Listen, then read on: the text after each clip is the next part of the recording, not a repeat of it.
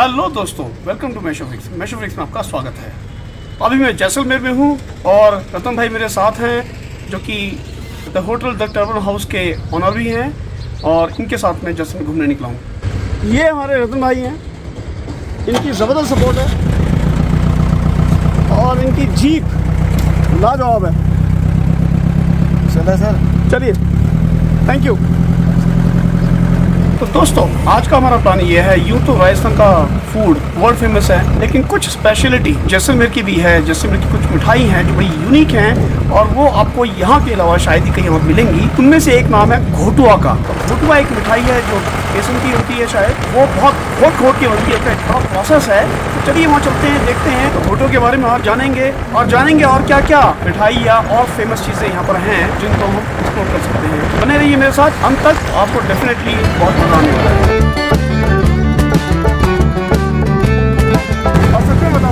बहुत इन्जॉयमेंट हो रहा है। अच्छी ठंड है। सुबह दिल्ली से हर ठंड मेरे ख्याल से यहाँ पर मॉर्निंग में। दिन में थोड़ा सा ठीक हो जाता है, गर्म हो जाता है बट सुबह शाम की अच्छी खासी ठंड है। और जब मैं अभी बिकानेर में था तो बिकानेर में थोड़ी ज़्यादा ठंड थी असल में। जैसा मेरे यहाँ पर कंपेरेटिवली कम है, लेकिन यहाँ की काफ़ी ठंड है। तो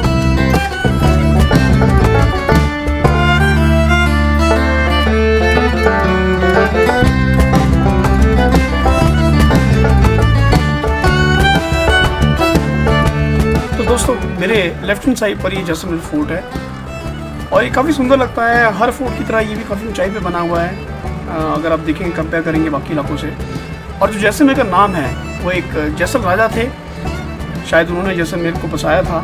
और जो मेर शब्द है, वो आया है मेरू से, जिसका मतलब पर्वत भी होता है। जैसलमेर यहाँ का नाम है। काफ़ी सुंदर फोर्ट लगता है। ये पूरा का पूरा फोर्ट बेसिकली एक रेजिडेंशियल एरिया है, ये इसका गेट है देखिए सामने। और मेरा अभी इस फोर्ट में जाने का कोई मूड नहीं है। फ़िलहाल मुझे कुछ और एक्सप्लोर करना है।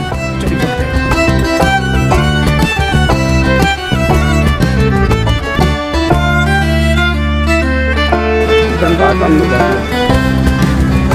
ये घोटवा मैं अभी आपको बताता हूँ।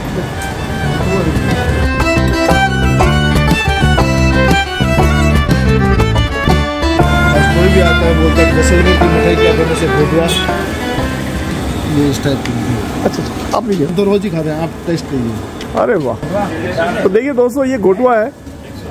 और ये गोटवा जो है असल में यहाँ की बहुत ही फ़ेमस मिठाई है।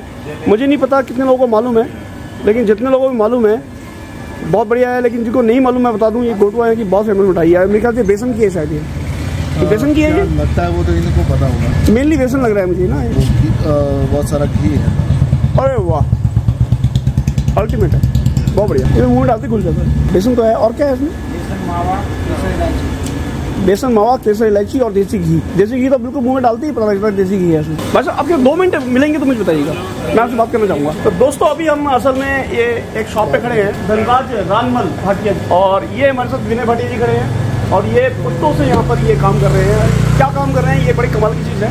यहाँ पर एक मैंने मिठाई सुनी गोटुआ के नाम। गोटुआ यहाँ पर बहुत फ़ेमस है। मुझे नहीं पता कि शहरों में रहकर, दिल्ली से शहर में, चंडीगढ़ जैसे शहर में रहकर अपने कितना जानते हो, या साउथ में कितना जानते हो इस बात को। ये एक यूनिक मिठाई है यहाँ की। मैंने भी पहली बार खाई है। और इसको खाने के बाद जो मुँह में घुली है ना ये, और देसी घी का स्वाद आया है, उसकी एक अलग ही बात है। मैं इनको ये तो नहीं बोलूँगा कि आप रेसिपी बताइए अपनी।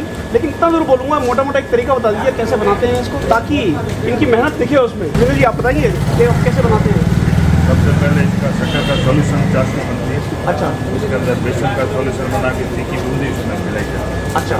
फिर उसको क्रश किया जाता है उसके अंदर। अच्छा। उसके बाद उसके अंदर मावा केसर इलायची सब मिलाया जाता है। फिर इसकी एक पत्थर की बड़ी बूंदी के अंदर एक लकड़ी का हैमर होता है उसके अंदर से एक घंटे तक इसकी कुटाई की जाती है। क्या बात है क्या बात है।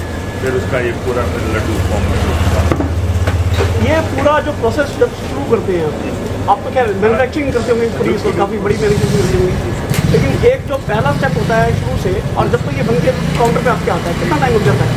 कम से कम तीन घंटे लग जाता है। एक पूरा पूरा बनने के उस समय करीब बीस किलो माल अपने लग जाता है। अच्छा तो उसमें जो घी है जो घी को आप काटते होंगे जैसे करते होंगे कितनी देर तक करता है? घी तो उसके अंदर कड़क बड़ी कड़ाई होती है उसके अंदर लगा रहता जब घी को उसमें पूरा मतलब बर्न हो जाता है हो जाता है पूरा तो हम उसका टेम्परेचर कोट में थोड़ा सा डाल के देखते हैं। तुरंत जैसे ऊपर आ जाता है का डाल के देखते हैं। हाँ, तो समझ लो घी रेडी है फिर उसके अंदर एक घेरा होता है उसमें फिर उसमें दाने बनाते हैं हाँ। जो भी बूंदी जिसमें वो बना वो बना के चाशनी के अंदर हैं। तो दोस्तों अगर आप साउथ में जाएँगे आपको एक मैसूर पाक मिलेगा हिमाचल में जाएँगे तो वहाँ बेसन के नाम से मिलेगा। ठीक है? जैसे एक कंडा घाट हिमाचल में एक बेसन बड़ा फ़ेमस है। वो बहुत जैसे ये बनाते हैं, पुश्तैनी, वो भी पुश्तैनी बनाते हैं। और उसी तरह से जब मैं यहाँ पर आया हूँ उनका जो घोटुआ है ट्रस्ट कीजिएगा, जो मैसूर पाक है और जो हिमाचल में बेसन बनता है, उन सबसे बिल्कुल डिफरेंट स्वाद है इसका। एक यूनिक टेस्ट है। इसीलिए ये पूरे इलाके में, पूरे राजस्थान में फ़ेमस है। राजस्थान में क्या? राजस्थान से बाहर जो भी लोग जानते हैं इंडिया में इंडिया से बाहर ये बहुत फ़ेमस है इस बात को लेकर। हाँ बिल्कुल बिल्कुल बिल्कुल। डिस्कवरी वगैरह सब में इसका प्रोग्राम आता है हाँ देखिए। नमस्ते इंडिया हम भी का का क्या बात है क्या बात है क्या बात है। और लॉनी प्लांट वगैरह सब में हाईली रिकमेंड है। सर मुझे तो आपके साथ खड़े होकर बड़ा अच्छा लग रहा है। और आपके उन पुस्तकों के साथ जो आपको ले साथ में यहाँ तक लेके चले जी सर जी उनका आशीर्वाद आपके ऊपर चल रहा है। और मैं ये उम्मीद करूँगा आपकी पुस्तकों और पुस्तकों ये सब चलता रहे और सब आपकी जो हेरिटेज है हेरिटेज को संभाल के जैसे आपको संभाल के रखा है। काम कर रहा हूँ। जनरेशन बच्चा सी है फिर भी वही यही काम देख रहा है। क्या बात है क्या बात है। जिसके ऊपर पुश्तैनी आशीर्वाद होता है ना उसकी जड़ें कहीं नहीं जाती। ये पक्की बात है। वो जड़ें जो है ना जड़ें एक बार चली जाए ना ज़मीन में वो पेड़ ज़मीन को कभी नहीं छोड़ता। जब तक जाए पेड़ की क्या रहती है वो ज़मीन पर टिका है। बहुत अच्छी बात है। कुछ और बताना चाहेंगे? बस एक ही है प्रभु कृपा से सब काम ईमानदारी से करते जाओ। भगवान अपने आप को मदद सिद्धि देता है बरकत देता है। हाँ ये तो आपने बहुत बड़ी बात बोल दी है ये तो सभी के लिए मैसेज है। एक कोई डायलॉग मतलब- सभी के लिए मैसेज है तो, बहुत बड़ी बात है। यहाँ के आराध्य देव हैं श्री लक्ष्मीनाथ जी। अच्छा। तो उनका जो प्रसाद है वो पीढ़ियों से मतलब करीब ढाई सौ साल से तो मेरे को जैसे पूर्व दिन फोर फादर्स ने बताया इसी दुकान से जाता है। अच्छा वो घुटो ही जाता है कुछ और जाता है? पेड़ा। पेड़ा जाता है। मैं अगर इसको घुटो में लेके जाता हूँ मैं अभी दस बारह दिन घूमता रहूँगा यहाँ से वहाँ। एक- महीने मैं। बाइक पे आया हूँ मैं बाइक चलाता हूँ तो घूमते भी रहेगा हर तरह से रहेगा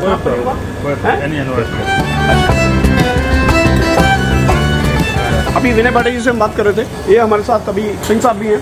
आज के गाइड इनका सपोर्ट ये गाइड नहीं इनका जो सपोर्ट है ना मैं इनको गाइड की तरह नहीं ले रहा हूँ बिल्कुल भी।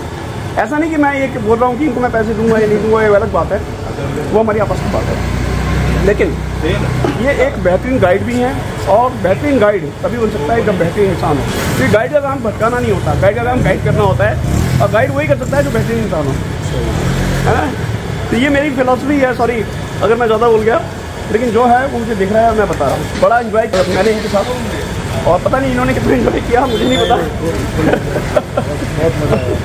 हाँ विनय साहब हैं, उन्होंने एक कचौड़ी ऑफ़र की है। देखिए, कचौड़ी बड़ी अच्छी कचौड़ी है, बहुत स्वाद भी है।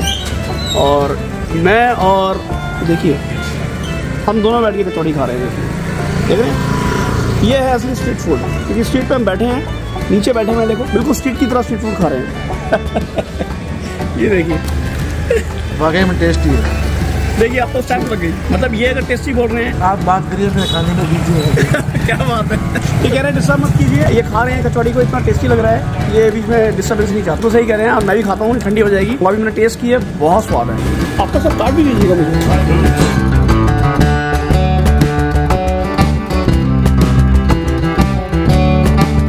कॉलोनी में एक जगह शॉप है अपना और एक हनुमान चौराहे पे भी। अच्छा। तीन ब्रांच करते हैं। अच्छा हनुमान चौराहे पे भी आप आप मेनली कहाँ बैठते हैं? मैं आप यहीं बैठते हैं हनुमान चौराहे पे आप नहीं बैठते हाँ, जो सबसे पुराना शॉप है यही है। अच्छा हनुमान चौराहे पे जो शॉप है वो वो अभी। कुछ टाइम पहले। कितने साल हुआ उसे? उसको तो अभी ये गांधी कॉलोनी वाला ये तो पाँच छः साल हो गए। अच्छा। उसको अभी खुले हुए तीन चार महीने हुए अच्छा अच्छा अच्छा। चलिए चलिए चलिए चलिए बहुत बढ़िया। सब घर में एजुकेटेड है। मैं खुद बी डी डेंटल सर्जन हूँ। क्या बात है। तो घर का इसको काम कंटिन्यू करने के लिए उसको ड्रॉप करते देखिए दोस्तों देखिए दोस्तों एक एक अपनी धरोहर जो होती है फैमिली बिज़नेस है उसे चलाने के लिए। हालाँकि इन्होंने बीडीएस किया है उसके बाद भी डेंटल सर्जन है उसके बाद भी ये ये वाला बिज़नेस चला रहे हैं।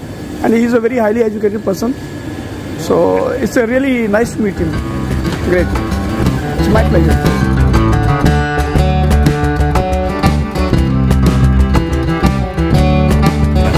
ये घेवर मेरे साले साहब को पसंद है। और अभी क्या टूरिस्ट सीज़न है टूरिस्ट डिमांड करते हैं तो इसलिए ये कंटिन्यू बन रहा है। आप समझ पाओगे मेरे सा, मेरे साले साहब है ना घेवर को देख के पागल हो जाते हैं। कि मैं घेवर खाऊँगा भी मेरे साले साहब यहाँ पर है नहीं वो ऑस्ट्रेलिया गए हैं अभी। दो महीने बाद आएँगे तो इनके लिए जाना बेकार है। नहीं नहीं खराब हो जाएगा। आप तो एड्रेस दे मैं भेज दूँगा अच्छा पक्का? पर, पर मेरे वहाँ पहुँचने में कहाँ रहते हैं? शिमला। तो पहुँचने में समय लेगा नहीं उनको लेके आऊँगा मैं यहाँ पर। उनको तो लेके आऊँगा और क्या बात है उनको लेके आऊँगा मिलाऊँगा आपसे। और घेवर इनका खाएँगे। तो मेरे साहब बोल रहे हैं कि एक यहाँ पर एक और इनका स्वीट है जो बहुत फ़ेमस है वो टेस्ट कराना चाहते हैं तो एक बार वो टेस्ट कर लेते हैं। अगर हम एक आधा घंटा खड़े रहेंगे हमारा ब्रेकफास्ट यहीं पर हो जाएगा। देखिए। है अच्छा किसी का लड्डू बताइए। ये पंचधारी मूंग की दाल का लड्डू पंचधारी? मावा मैदा मूंग की दाल घी और शक्कर। अच्छा। अच्छा अच्छा। ये भी एक महीने तक खराब नहीं होता है। अच्छा। और ये भी यहाँ की सबसे ट्रेडिशनल मिठाई में से एक है। क्या बात है क्या बात है। तो दोस्तों मैं अभी ये खाने वाला हूँ और डेफिनेटली बहुत बढ़िया होने वाला है। देखने से इसका टेक्सचर बहुत बढ़िया लग रहा है। ये तो बिल्कुल इतना सॉफ्ट है हाथ से उठाते गिर रहा है। वाह। तो दोस्तों अगर जैसे मेरे आते हैं ये सब चीज़ें मिस मत कीजिए। अगर ये मिस कर रहे हैं ना तो आप आधा जैसा मेरे मिस कर रहे हैं। तो यहाँ के खाना पीना है। देखिए किसी भी जगह का मेन चीज़ क्या होती है? वहाँ की लोकेशन घूमना फिरना और खाना पीना। घूमना फिरने में तो बहुत सारी चीज़ें देखी जाती हैं लेकिन खाने पीने में तो वही जब पेट में जाएगा नहीं तब तो मज़ा नहीं आता। तो आप आइए ये खाइए आपके पेट में पेट में जाएगा जीप पर जाएगा तभी मज़ा आएगा। तो मुझे तो बहुत मज़ा आ रहा है। अरे बाप ये मेरा नाश्ता ही करा देंगे देखिए। अब ये जलेबी भी इन्होंने दी है। हम्म, तो अब ये जलेबी है। ये जलेबी खाने वाले हैं, देखिए। तो ये पूरी सेवा कर रहे हैं, देखिए। बहुत बढ़िया।